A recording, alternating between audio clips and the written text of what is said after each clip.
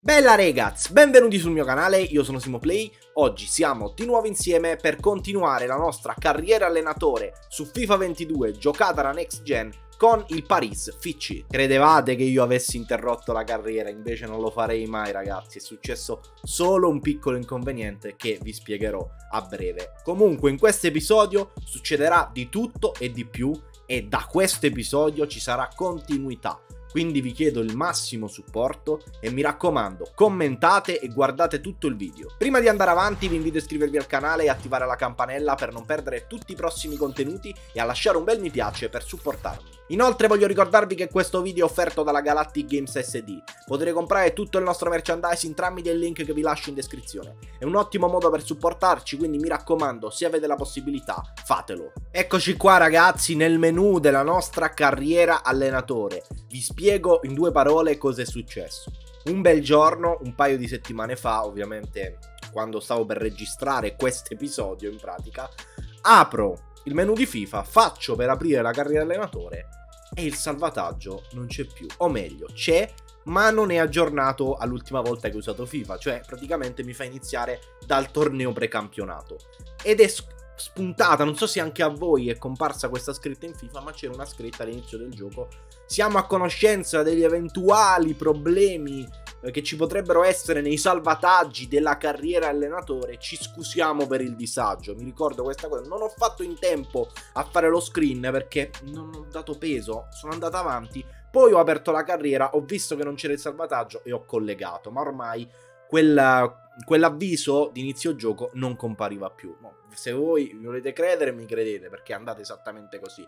Non so se è una cosa che è successa magari a pochissime persone, a voi non è successa, ma io vi giuro che mi è capitata questa cosa. Allora, avendo perso tutto praticamente, e quindi sta, stavo di nuovo al torneo precampionato, ho deciso di mettermi con la santa pazienza, ovviamente a difficoltà minima, e eh, giocare tutte le partite che avevamo giocato finora facendo segnare esattamente i marcatori che avevano segnato nelle partite reali. Quindi la situazione è identica, anche i marcatori sono identici, come vedete Garcia sta a 6 gol e stava a 6 gol.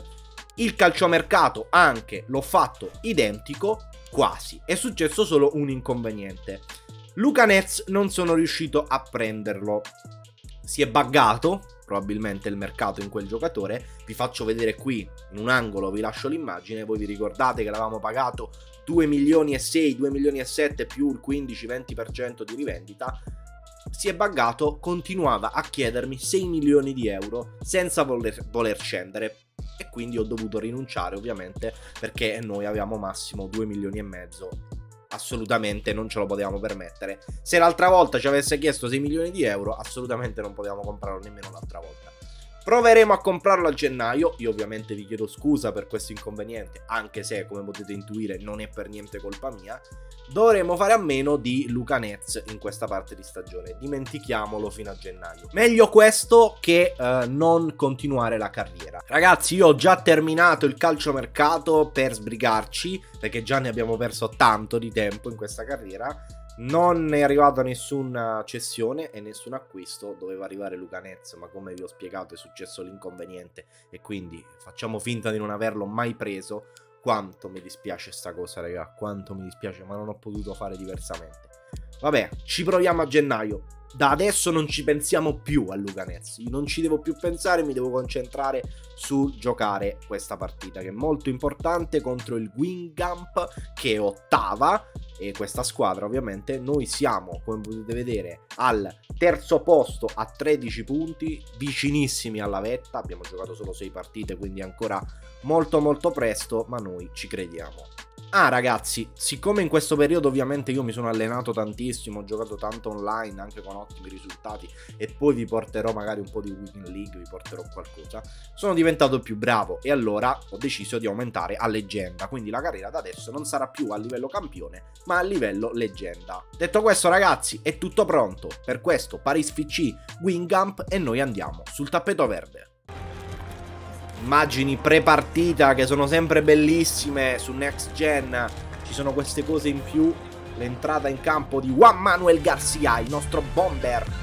Ed è tutto pronto per l'inizio di questo Paris Wingamp. Il primo tocco è il nostro. Pierro prova ad avanzare, aspetta il compagno. Va a servire Livolant centralmente da Diarra, fermato da Mustafa Name. E adesso Garzia che prova a scatenare la velocità e riesce anche a mantenere il pallone. Garzia, grande lavoro in fase di impostazione. Campanini ha visto lo spazio per servire Ghilavo Ghi che adesso è abbastanza isolato. Si va da Garzia che ha anche un ottimo sinistro! Manuel Garzia si inventa un gol dei suoi! 1-0 Paris con il suo piede debole, tra virgolette, perché ha un ottimo sinistro e si è andato ad inventare questo gol valido per l'1-0 della squadra parigina. Che giocatore ragazzi il nostro bomber. Che giocatore a giro. Il portiere prende le farfalle sotto l'incrocio 1-0 Paris. Ilavoghi sbaglia tutto e poi va in pressing riesce a recuperare questo pallone. Il tocco per Lopez! La parata di Basilio in calcio d'angolo. In avanti da Pierro, Diarra, ancora Pierro, allarga molto bene da Livolant, affrontato da Campanini, torna indietro da Mobris. Livolant, il pallone per Pierro, il pareggio del Wingamp. Disattenzione clamorosa in fase difensiva del Paris. Ilavoghi recupera un ottimo pallone ma l'arbitro decide di porre fine al primo tempo proprio in questo istante. Situazione di parità 1-1 e ricomincia Ilavoghi, il tocco per Diakite, molto buono per Mustafa Name, Lopez, vediamo se metterà in mezzo il pallone, rimane lì il colpo di testa alto di Garzia, non si aspettava probabilmente l'uscita del portiere, ha colpito male perché era pressato, ma comunque la porta era vuota ragazzi, doveva fare di più. Finisce così 1-1 ma potevamo fare di più ragazzi. Potevamo fare di più. Ragazzi a quanto pare hanno pareggiato anche le squadre sopra di noi perché siamo sempre ad un punto. Juan Manuel Garcia il capocannoniere di questa League 2 con 7 gol per adesso. Ovviamente dobbiamo continuare a fargli fare gol altrimenti non rimarrà il capocannoniere. Dobbiamo giocare contro il Sochaux ho visto proprio che si pronuncia così, sono andato a cercarlo perché avevo la curiosità e si dice Sochaux ed è quattordicesimo in campionato. Quindi dovremmo avere una vittoria facile. Speriamo, impegniamoci, dai. Formazione super titolare per questa sfida perché dobbiamo fare bene, ci servono i tre punti, anche perché siamo ad un punto dalla vetta, quindi è super importante fare bene, anche se siamo solo all'ottava giornata. Comunque è importante camminare dritti per questa strada. Sempre livello leggenda, ragazzi, in modo tale che tutto più difficile, come ho detto, ho aumentato il livello da campione a leggenda. È tutto pronto e noi andiamo sul tappeto verde. Ed eccolo qua, Juan Manuel Garcia, il nostro numero 10, ha segnato 4 gol nelle ultime 3 partite. Un ruotino di marcia impressionante per il giocatore argentino. Saltato tutto ovviamente perché non è una partita importante. Iniziamo così subito Garcia a recuperare il pallone Se ne va con un grande dribbling. Garcia prova ancora ad andarsene Viene fermato all'ultimo ma stava facendo un'azione delle sue. Ambri Affrontato da Nin Ambri riesce ad andare sul sinistro. Il pallone in mezzo Il gol! Mamma mia che è? Un tiro hanno fatto. Un tiro hanno fatto 7 minuti, 33 secondi, siamo sotto, contro la quattordicesima in classifica. Così non va bene. Name, Garzia, si gira, Garzia! Garzia! Juan Manuel Garzia, ci pensa lui. 8 gol in League 2, 8 gol ragazzi, 8 gol in 8 partite praticamente, un giocatore fenomenale, fenomenale. Guardate che ha fatto. Si sposta il pallone. Però sul primo palo. Figlio mio, sul primo palo. Bello, potente. Un bel gol, quello che vuoi. E che fa il portiere là? e che fa? Non mi è mai successo una cosa del genere. Vi dico, di solito fanno sempre i miracoli i portieri. Vabbè, buon per noi, 1 a 1. Alla fine succede anche nella realtà lo svarione del portiere, non è irrealistico, succede. Oh, se succede, caspita. Se ne va sempre sulla fascia, eh. Henry. Centralmente da Calulu. E dai, è fuori gioco! Non è fuori gioco? È fuori gioco. Eh. Dicevo, ma siamo impazziti. Il pallone messo in mezzo. Diventa buona per Garzia. Deve salvare sulla linea il loro difensore. Yakite, una finta. Ghilavoghi, Garzia, prova a sfuggire. Garzia, il palo rimane lì. Non ci credo, ragazzi. Non ci pensiamo, non ci pensiamo, altrimenti prendiamo gol. Occhio all'occasione, Ghilavoghi, Ghilavoghi, 2 contro 1, il pallone in mezzo e il gol di Diakite. Boumar Diakite la mette dentro, 2 a 1 Paris FC, tanto di cappello a Ghilavoghi, è stato altru altruista. Ragazzi, se non, non lo passavo o se sbagliavo il passaggio non lo facevo più giocare. Vai Garzia, vai a fare pure il difensore De Monsi il tocco per Diakite che alza questo pallone dove c'è Lopez. Lopez prova a rientrare. Ottimo il pallone per Gilavochi. Fuori gioco. Mannaggia, di quant'era sto gol? Gilavochi diventa buona per Garzia. 3 a 1 Paris. Juan Manuel Garcia. 9 in campionato. Chapeau a questo giocatore. 9 in campionato. Subito, subito in alto con questi gol vuole vincere la classifica marcatori, l'abbiamo capito.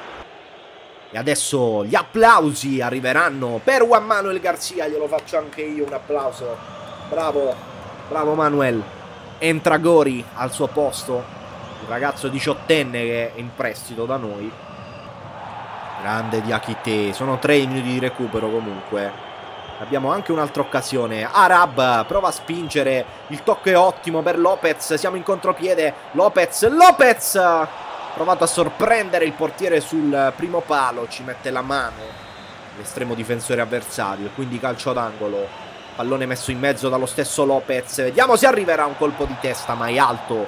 E finisce anche la partita con questa incornata di Gori. 3 a 1 per noi. Tre punti importantissimi incrociamo le dita, speriamo che le altre squadre hanno perso. Non mi ricordo nemmeno quali sono le altre squadre, quindi direttamente andiamo a vedere la classifica. Siamo in testa. Salutate la capolista per ora. Per ora siamo la capolista. Un punto, ovviamente, non, non chissà quanto. Quindi la classifica è molto stretta. Potrebbe ancora succedere di tutto. Ma, ma, siamo sulla buona strada, ragazzi. Come sapete, io sto aspettando il resoconto, ovviamente, ancora di questo mese dell'osservatore. Per adesso i giocatori che abbiamo nel vivaio sono questi. Io vi ricordo che ci sono gli obiettivi di questa carriera in descrizione.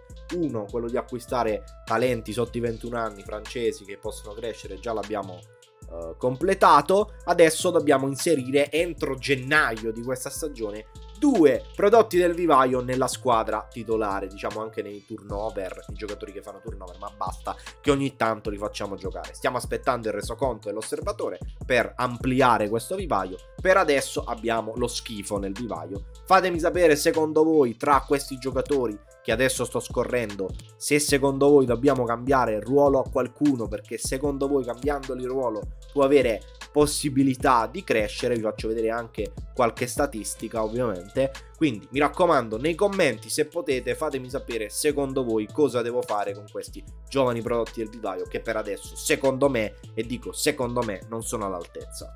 Bene ragazzi, per questo episodio ovviamente abbiamo terminato, abbiamo giocato due partite, nel prossimo episodio giocheremo due o tre partite, adesso vediamo, anzi fatemi sapere anche questo nei commenti, se preferite più episodi da due partite o magari meno episodi da tre partite, perché ovviamente per registrare un episodio da tre partite ci vuole di più rispetto a un episodio di due partite e quindi potrò portarvene meno, mentre con questo sistema delle due partite sicuramente potranno essere di più. Come ho già detto, adesso ci sarà continuità, almeno un episodio ogni 3-4 giorni di questa carriera, sempre perché ho risolto il famoso problema di cui vi ho parlato a inizio video.